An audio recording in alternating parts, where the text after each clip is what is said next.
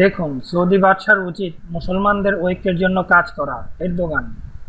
তুরস্কের president Recep Tayeb Erdogan প্রতিজ্ঞা করেছেন, উপসাগরীয় আঞ্চলিক সংকট নিরসনে কাতারের পাশে থেকে নিজের ক্ষমতায় থাকা সর্বোচ্চ চেষ্টা করবেন তিনি।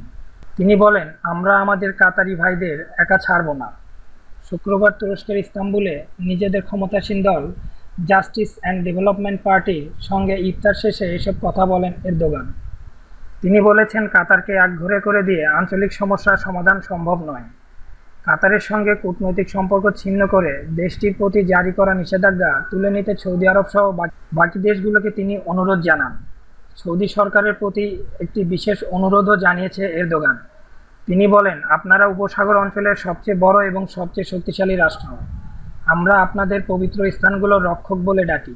তাই আপনাদের ওই বিশেষভাবে ভ্রাতৃত্বের পক্ষে কাজ করা উচিত। শত্রুতার পক্ষে নয়। আপনাদের কাজ করতে হবে ভাইদের এক করার জন্য। এটাই আমরা সৌদি পবিত্র মসজিদ সমের অভিভাবকের কাছে আশা করি।